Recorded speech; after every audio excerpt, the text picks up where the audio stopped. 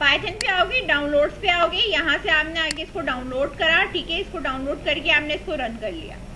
जब आप इसको रन कर लोगे तो यहाँ पे तुम्हारे पास लिखा हुआ पी वाई पाइथन ठीक है, ये पाइथन ने डायरेक्टली इसका कमांड प्रॉम्प्ट ये होता है, ठीक है? इसकी फ़ाइल हाँ इसकी फ़ाइल आपने जो है वो स्टोर करानी है मतलब सेव करवानी है। अब पाइथन है मेरे पास ये रन कर चुका है, मैं इस पे जो भी लिखूँगी, मेरे पास जो है वो प्रिंट होके आ जाएगा। सपोज़ मैंने यहाँ लिखा प्रिंट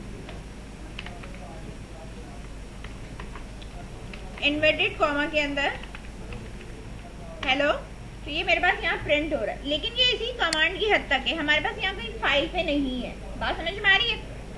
आपने यहाँ पे आना है सीएमडी खोलना है अपना कमांड प्रॉम्प्ट मैंने अभी जो फोल्डर बनाया था, वो मैंने कहा बनाया था? डॉक्यूमेंट्स में।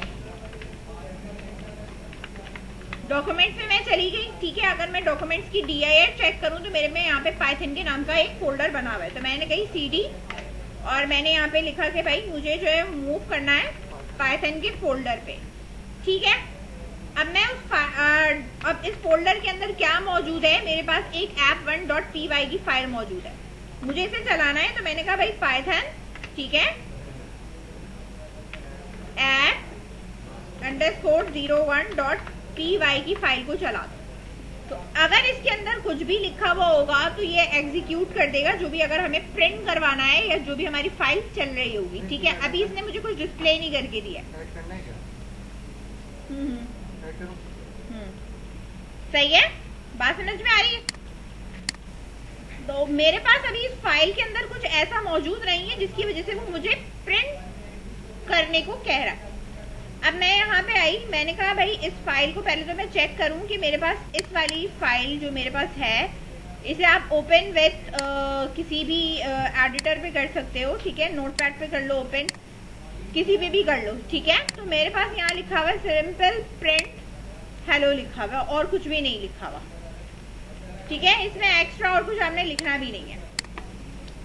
तो कमांड से भी हम यहाँ से जाके आप चला सकते हैं। अच्छा सिंपल अगर मुझे पाइथन पी वाई अगर मैं लिखूं तो कमांड प्रॉम्प्ट से भी आप डायरेक्टली इसके अंदर यहाँ एंटर हो सकते हो।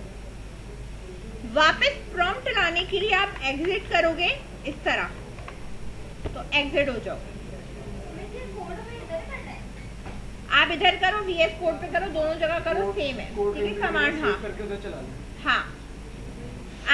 सेव करना है ना कमांड जो आपने सेव करनी वो आपने इस वाली इस वाली फ़ाइल के अंदर सेव करना है इसमें सेव करना है।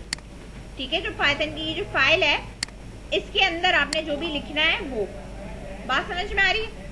अच्छा फ़िलहाल मैं आपको नॉर्मली भी बता रही हूँ फ़ाइल का हम बाद में देखेंगे। अभी जो है वो हमारे पास ये डायरेक्टली हमारे पास चला।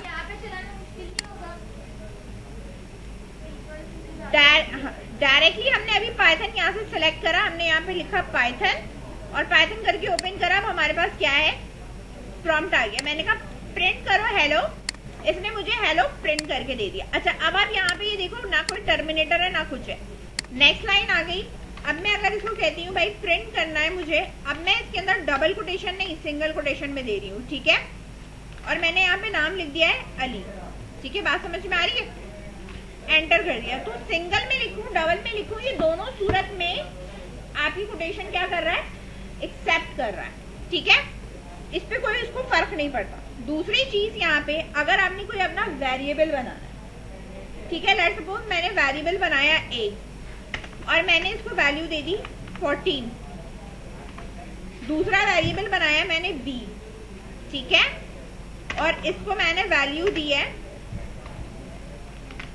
अहमद लिख दिया ठीक है, इस तरह। अब मेरे पास दोनों चीज़ें मौजूद हैं, एक इंटीजर टाइप का और एक स्ट्रिंग टाइप का, क्योंकि मैंने पीछे डेटाबेस टाइप कुछ नहीं बताई है।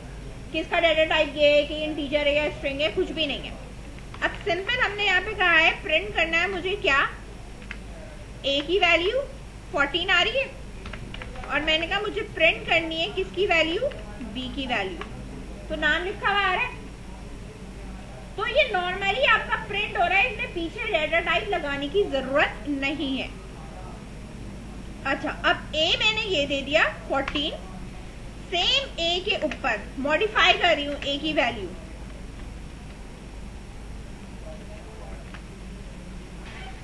पहले ए की वैल्यू टीजर थी दोबारा ए की वैल्यू मैंने क्या कर दी है?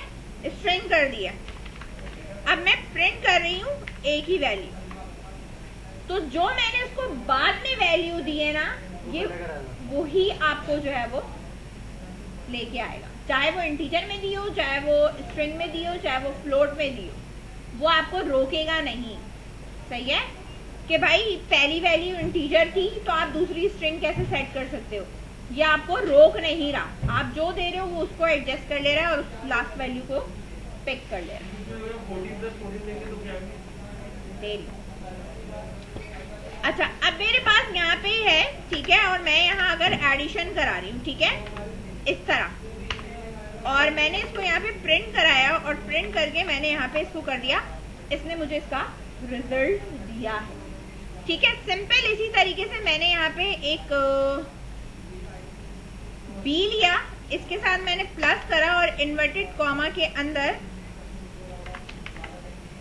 ठीक है एक और मैंने कर दिया। अब मैं इसको प्रिंट करवाना चाह रही हूँ। ठीक है? बी को। तो इसने मुझे कॉन्केटिनेट करके दे दिया। बाकी चीज़ें अदर लैंग्वेज की ही तरह सेम है। बात समझ में आ रही है? इसके अंदर कुछ चीज़ें आपकी इंटेंट पे बहुत मैटर करती हैं कि आप इंटेंट करके लिख रहे होते हो। नॉर्मली हम लैंग्वेजेस के अंदर इंटेंट क्यों करते हैं? बताने के लिए कोड को सिक्रेनाइज करने के लिए डिस्प्ले उसका करने के लिए कौन सा कोड कहाँ शुरू हो रहा है। तो इसके अंदर भी जो है वो इंटेंट मैटर करता है। विदाउट इंटेंट और इंटेंट के साथ फ़र्क होता है। ठीक है, मैं वो आपको बता देती हूँ। वन है हमारे पास। पाइथन क्या है? ये सारी हिस्ट्री मैंने इसके अंदर ऐड कर दी है, जो मैं आपको लास्ट क्लास में कवर अप करा चुकी हूँ। डाउनलोड करने के लिए मैंने लिंक भी बता दिया कि आप डाउनलोड कर सकते हो इंस्टॉल कर लोगे तो कमांड फ्रॉम पे आपके पास इस तरीके से विंडोज़ पे अपेयर होता है। यहाँ पे अभी जो हम लिख रहे हैं, वो आप इस तरीके से ही लिख रहे हो। ठीक है? कमांड प्रॉम्प्ट पे। वीएस पे भी हम लिख सकते हैं। एग्जिट करने के लिए आप एग्जिट करोगे, वापस आपका कमांड प्रॉम्प्ट आ जाएगा। ठीक है? अब ऐसे हमने वैसे भी नॉर्मली लिखा हुआ है। अच्छा पाइथन की इंटेंटेशन जो मैं बता रही हूँ, वो इफ़ पे बता रही हूँ। जैसे मैंने लिखा if five is greater than two condition true है ना? कॉलन लगा हुआ है इसके आगे। कोई कर्ली ब्रैकेट नहीं है। लेकिन मैं इधर एक स्पेस इंडेंट देकर ही प्रिंट कराऊँगी। तो मेरे पास ये प्रिंट हो रहा है। अगर मैं ये स्पेस खत्म कर दूँ, बात समझ में आ रही है? मैंने यहाँ खत्म कर दी स्पेस अब इसने मुझे क्या कह दिया? Indentation error expected an indent block वो कह रहे हैं, यहाँ पे एक्सपेक्ट था कि आप एक इंटेंट दोगे। आपने नहीं दिया तो उसने एरर कर दिया, आपका डिस्प्ले नहीं दिखाया। बात समझ में आई? तो इसके अंदर जहाँ पे हमारे पास ब्रैकेट के बाद ऑटो इंटेंट लगता था, वो इंटेंट आपने लाजमी लगाना है, गायब नहीं करना है। पाइथन के अंदर इंटेंटेशन जो है वो मैटर करती है। वेरी इंपॉर्टेंट ठीक है? नहीं करोगे एरर आएगा। सही है? वेरिएबल सेम अभी मैंने जैसे बनाए एक्स एंड वाई जो भी आप प्रिंट करा लो।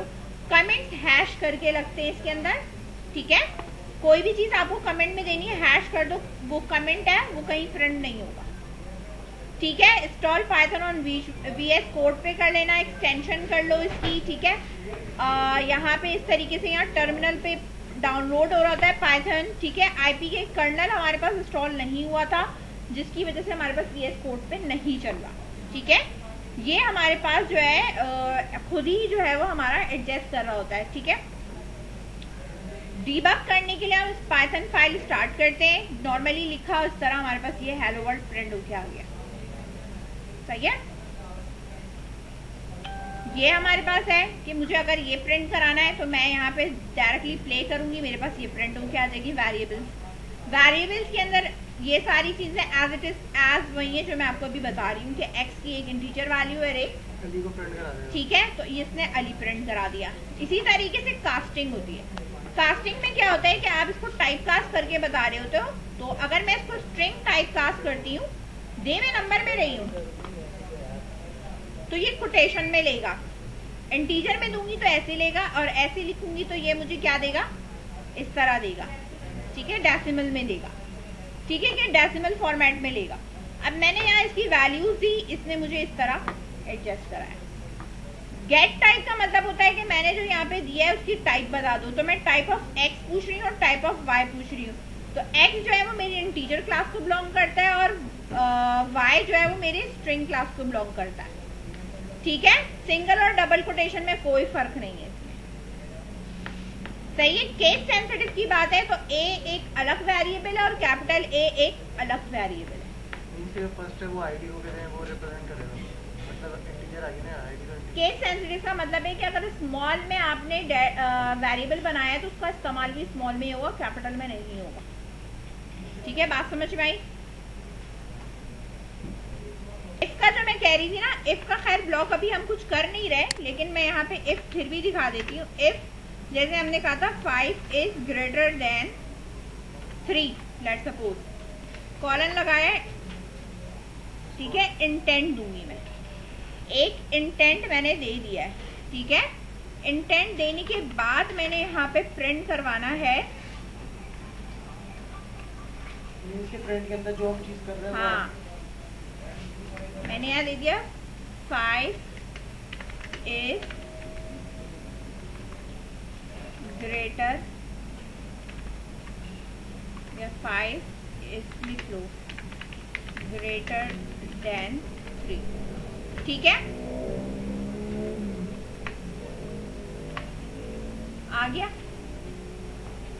सही है? Five is greater than three same cheese.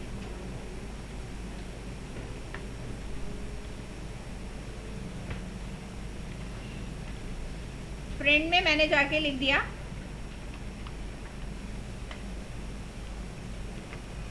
Five is greater greater than three अच्छा जब मैं इसे एंटर करूँगी तो देखो फॉरन उसने मुझे यहाँ पे क्या दिया है? एक एरर उठा के दिया है। कि भाई इंटेंट एक्सपेक्टेड था हमने इंटेंट नहीं लगाया ये मैंने लिखा इसके साथ ही मैंने प्रिंट लग दिया। यहाँ मैंने इंटेंट दिया था। स्पेसिंग को कहते हैं। ठीक है? तो ये स्पेस दिया है मैंने तो इसने मुझे इसका रिज़ल्ट दिया है। अगर मैं स्पेस नहीं दूँगी तो ये मुझे एरर देगा कि इफ़ का ब्लॉक मिसिंग है या फिर आपने इंटेंटेशन नहीं करी है।